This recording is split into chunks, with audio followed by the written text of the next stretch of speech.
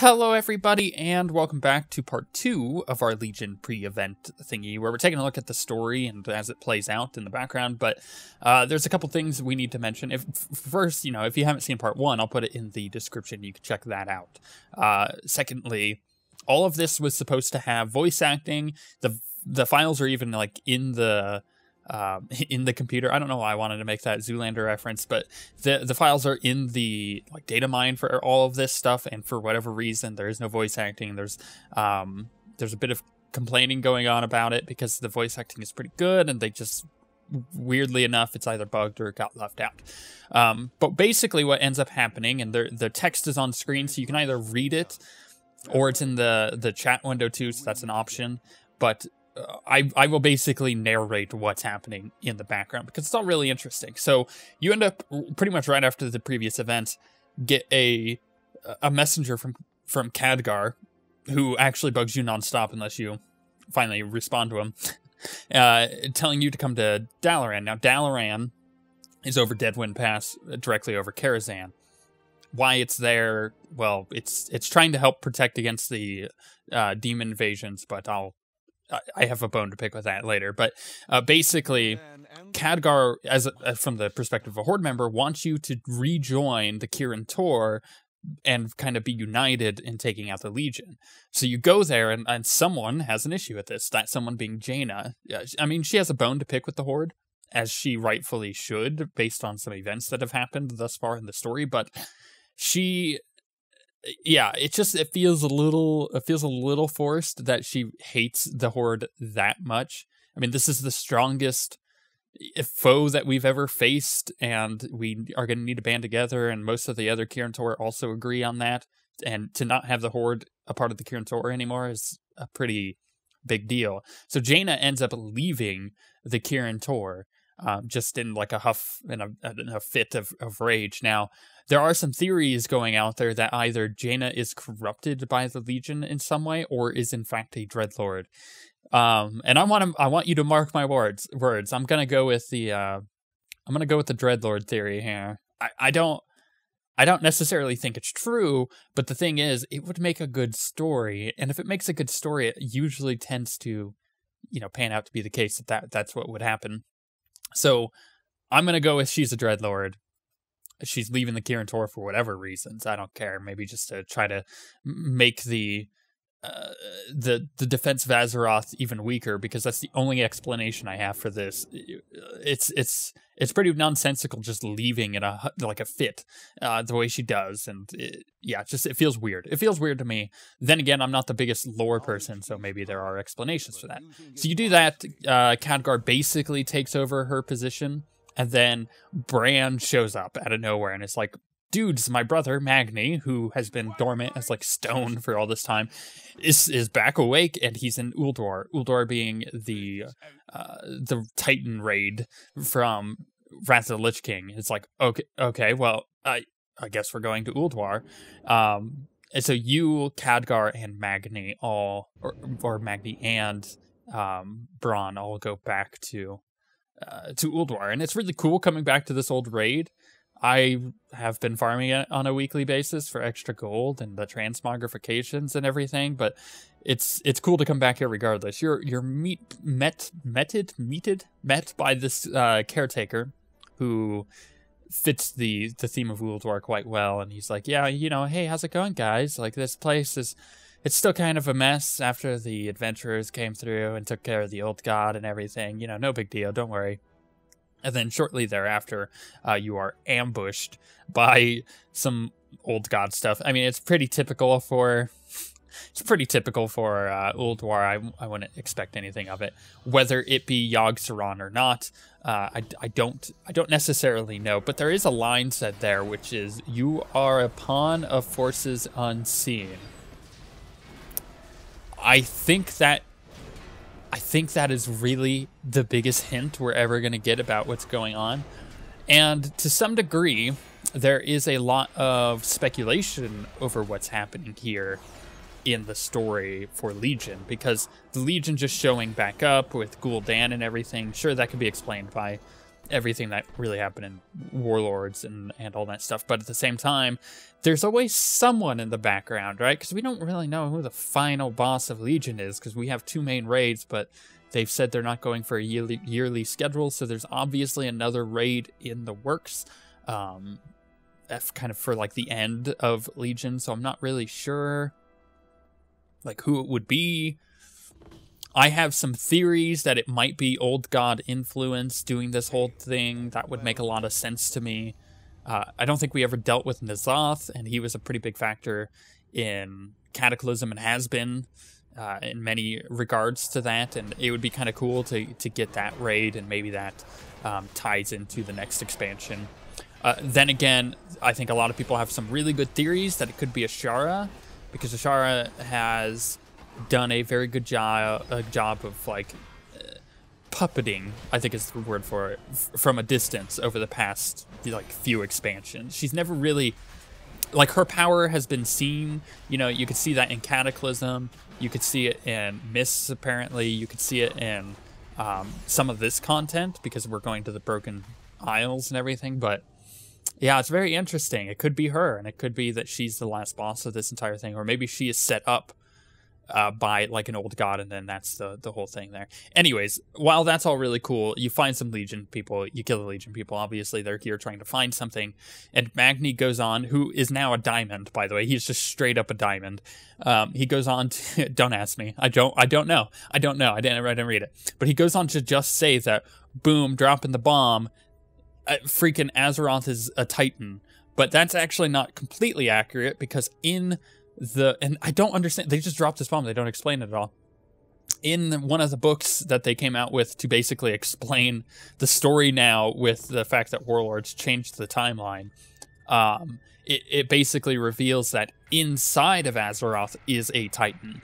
Now, Titan being the things that have created the planets and the universe and everything, and there's a Titan inside the planet. So, what the heck? Well, obviously, that explains as Khadgar says, a great many things because, like, okay, well, that's why Azeroth is so important. But, like, it, it feels like it came out of nowhere. And it obviously did in this part of the story because they don't explain it at all. They just throw this huge bomb at you. I'm sure we will learn about that story because the whole thing here, and you go into Algalon's room and you get a minor flashback, but it's just like voice acting we've already heard from the Algalon fight. Magni basically says that there's these things called the pillars of creation. So back when the back when the planet was formed and everything, there's these things that were created by the Titans as like great boons of power, and there there's five of them, and they're the five pillars of creation. So now we have to go find these artifacts in order to shut down the portal that the the Legion invasion is coming through. And it's like the main thing right now. Like we need to find these pillars of creation to shut this down, and it's even like in most of the gameplay, uh, you unlock a lot of stuff for your uh, your artifact weapon by finding the pillars of creation. It's like the, the kind of the main driving force as you're going into Legion. That's that's your like primary goal at the moment, um, and they're within basically each of the ancient uh, like civilizations there. So I guess oh, I it just it feels uh, it feels kind of contrived, but I'm totally on board with it regardless because it is kind of cool. And the rest of the information on these so-called uh, pillars are back in Karazhan. So not only are they grabbing not uh, one old raid, which is Ulduar, to put you back into that is very nostalgic, but then they're also throwing you back into Karazhan. Uh, so you go back there with with Khadgar. You leave Brann and Magni behind. You can assume that they have a, a pretty uh, lengthy chat. You know, Brann being his brother, someone who really does enjoy all the Titan lore, um, and then you know Magni having obviously chatted with Titans. I guess I don't know what's going on with him. I, I probably should look up his story. It seems pretty interesting. Uh, in fact, he seems like he's in a really good position to potentially take over Thrall's new job. Uh, if Thrall ever, falls, maybe they're maybe they're setting Thrall up for like a really cool sacrifice moment at the end of this expansion, and then Magni will take his place. I think that that actually sounds very logical to me. But then again, I am not a huge WoW lord. I'm going to get a lot of this wrong, but at the same time, I, I, I like, I, I like coming at it from my perspective because my perspective is one of most players. In fact, I, I probably still even know more than most players about what's going on here. Uh, whereas you have these like crazy lore nerds who just know everything about this universe and everything that's going on. Um, like I said, I, I, I think it's cool to come from it of a perspective of most players and, and try to explain it that way, uh, which is the primary reason for making these videos. Anyway, so what you learn here with Khadgar is there were many apprentices to Medivh back in the day, and Khadgar was really the only one that was chosen to be, uh, or rather, there are many people who wanted to be his apprentice, but but Khadgar was the only one chosen to be. In that, uh, Medivh was really smart. Everything that he was doing was actually a test for Khadgar, and Khadgar learned that. But in his absence, Khadgar came back uh, to Karazhan and set up a lot of defenses and stuff because this this tower is really important. It's got a lot of information on Azeroth here. It's the Guardian's tower. Uh, the Guardian being the person that is basically assigned to guard Azeroth and is, is responsible for its well-being. And you see that with Medivh, like especially in Warcraft 3, it's kind of his big thing. He's like, you guys gotta you know the legion's coming again you gotta watch out for this archimonde guy and um, yeah, that whole story is really cool in Warcraft 3. But with Medivh out of the picture, it's Khadgar's job. Or it, Khadgar, if you watch the little animated thing, is really cool. He, he comes back to Karazhan to uh, try to learn some information from all the old stuff about the Legion, and uh, instead is confronted by Dreadlord, who is posing as Medivh's like spirit, and uh, he's trying to get Khadgar to become the Guardian because the Guardian is a, a thing of power, and power can be corrupted, and that's the whole thing with the Legion is they want to corrupt Khadgar. Well, it turns out that's he he ends up seeing right through it. He decides I don't want to become a Guardian because that's way too much responsibility for what's going on here. Like there there shouldn't be one person with all the power. Um, but we need to find all this information on the pillars uh, first. So you go through the defenses of Karazhan. He kind of brings them down a bit and uh, teleports you up to the library where you fought. Uh, oh crap! What was his butt? The mage. I don't remember his name. Really stupid fight. Uh, I'll talk about that in a moment. But it's this room that when you go into it you're like oh this this place was definitely burning crusade because it looks a little outdated like the the book models on the wall or not models but the uh, texture on the wall to make it look like a bookshelf or like 10 times bigger than any book will ever be. It looks really funny. You'll see it in a, a second but it's cool because you go there um, you help him set up defenses and then you're essentially waiting for him to try to find this book. And it's it's kind of again it's a little contrived but it is really cool that you're back here and doing that kind of thing. Now i wanted to briefly talk about the fact that patch 7.1 is Karazhan. Like they're bringing Karazhan back as not not a raid, but as a five man dungeon with all of its bosses, and you know they're up they're updating all of the stuff, uh, which is cool but it is coming back as a dungeon and i'm really looking forward to that because this place was really cool despite this stupid boss. Uh, uh, there was a mechanic with this boss in this room uh, where he was a mage and it basically he would put a huge debuff on everybody and if you moved it would do like pulsing aoe damage. There was always one guy who would wipe the raid by moving and it was the most annoying thing and i i want to just quickly say like i really hope that they keep that I hope that all of those mechanics on those bosses are, are similar. Um, but it kind of makes you wonder, like, how is it coming back as the five-man dungeon if we've already defeated all these bosses, yet they're keeping all the bosses? Um, I don't know. I, I don't know how that's going to work, but apparently the opera event and stuff is still going to be there.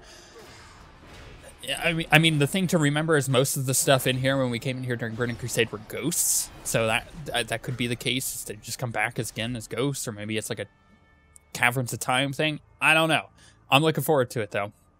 So what ends up happening here is these arcane golems come out uh, that are changed by the defenses. I don't know what ended up happening there, but the Legion is still breaking their way through, and you need to buy time to find this book. Uh, speaking of the books, again, you could probably see all the giant freaking book models on the wall. It's it cracks me up. It's it's very antiquated. Uh, I I like that. If they did that now, when it it wouldn't look anything like this. They would probably change it up, but it, it, it works for this room because it's very whimsical, anyways. You turn the golems back on onto your side. They go and defend against uh, the incoming Legion forces, and then Khadgar basically channels an ability and finds the book. And you pick up the book off the table. All the information on the pillars. And you take that back to the uh, to the Kirin Tor. Now, this is the kind of the last thing that I wanted to talk about all this, which is that this was broken up into three weeks, uh, this content. So we had that first bit, the whole first part one was the first week when the pre-patch hit, and or a week after the pre-patch hit. It was so good. Uh, I was like, man, if it, if it is all just like this, I'd be so happy. And then I heard, oh, we're going back to Ul, uh, Ulduar and Karazhan, and I'm like, oh man, this is gonna be so good. So we do all this. I'm really hyped. This this right here, finishing this up was the end of part two. Right, so we had part one came out one week. This was part two. So doing Ulduar and Karazhan, a good setup for what would be a cool part three except part three was one quest that took about two minutes. And that was it. And everybody who did it, I remember going onto the Reddit afterwards because I was so confused. I went onto the, the WoW subreddit and it, it, was just a ton of people going, wait, is that it? Is that what is that all it was? And you'll see what I mean. You you go back and you turn this in, and then we had to wait a week. And then the same thing happened as before. One of Khadgar's little minions comes and tries to talk to you, like, you know like navi from from zelda just like hey listen! And just like constantly is berating you and you're like fine i'll go do the quest. And you can see him there it's funny but you go and you go back to Karazhan, or in this case if you're already at Karazhan, you need to talk to Khadgar. And he's in the middle of Karaz or not Karazhan but of Dalaran still in a Deadwind Pass. You go talk to him and he's like, "There's some. I have a. I have a plan. I have a master plan about what's going to happen." And you, you basically pick up this quest from him. He does a little bit of monologuing. It's what he does. I mean, it's he's got to he's got to bring some exposition out somehow. Um, but the general gist of it is that there are these like weird floating things in Dalaran that you have to like go disable uh, so you like go arcane, arcane missile them with this little item he gives you. I'm fine with that, but again, remember that this is part three to this whole like three week thing that was leading up to the launch of Legion, and we were all really hyped. Like, what's gonna happen? How much of the we were so excited that this was to be a much larger part because the idea behind it is that we need to now move Karazhan, which I'm or not Karazhan, but Dalaran. I keep saying that. I'll, I'll and I'll talk about that in a second. But we need to move it to uh, the Broken Shores now that we're like really going to go attack the, the Legion and go uh, do all that stuff. So basically, you disable these four anomalies, and then that's that's that. That's the end of that's the end of that mission. You go and talk to him. He's going to summon the spirit of the first guardian, which you then talk to. That's all really cool. I do enjoy that. And then the rest of the Kirin Tor begin to channel a spell to move Dalaran uh, back to the broken or to the broken shore, and they do that for a week. and then where this all ends is where Legion begins. So Legion will launch, and then we'll Dalaran will be moved. We'll go get our artifact weapons, yada yada yada. You get the idea. But the fact that this quest legitimately you go and do it, and then now we have to wait a week for them to channel this spell. So this is the bone that I wanted to pick at like the very beginning, which is that Dalaran is above Deadwind Pass uh, we need to now move it again to the Broken Shore. Why? Why didn't they just move it to the Broken Shore to begin with? Like, oh, we're under attack. Move it to the Broken Shore. That's the logical place to have it at the moment in order to help push back the Legion. Instead, they're like, let's move it to the bottom of the Eastern Kingdoms, where the only thing in range really is Westfall like really you could have put it over Orgrimmar, and then at least you still get two of the invasions that are close by. You could put it over Stormwind, you'd still get two of the invasions that are fairly close by. Like it, it makes it feels like a plot device, right? Like they were just trying to put it out there to, to explain some plot away. Either way, you do the first Guardian stuff. It is really cool, um, talking to him and, and kind of learning like what his whole process or his his thoughts on the thing are. Uh, we have to fill, uh, find these pillars. That's all the thing. But that's that's basically the end of all the the pre-launch story. From here on, we start moving the city. We go get our artifact weapons and Legion launches and all of that fun stuff. And I'm really excited for that. But it, it feels very anticlimactic. But the story thus far has been set up really, really well for the expansion to be pretty freaking awesome. So if you have any questions or comments, let me know. I'm sure you guys will correct me on a ton of lore stuff, and I'm totally okay with that. I know, again, I'm not I'm not a huge lore nerd. I don't know as much as everybody else does, but I know enough to get me hyped for this expansion. And uh, yeah, and I, and I legitimately am really hyped. But with all that being said, I can't wait for Tuesday to come. And uh, I, I kind of wish that this uh, this quest ended a little bit better. Eh. But we shall see you guys next time.